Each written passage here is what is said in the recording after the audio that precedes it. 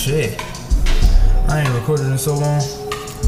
I I told the bitch to get up on her knees, but she rejected me. So now I gotta tie the bitch up and feed her celery. I fed her cream and made her scream. She said there ain't enough of me. And yes, it was consensual. She told me that she loves it free. She biting on my neck, kinda like it. She a vampire. Fuck the ones that fucked again. We never had an umpire. I said we didn't have a condom, so we had to improvise. I turned around to use the rubber glove just for the one time. The bitch, she said she didn't want nobody else to see me.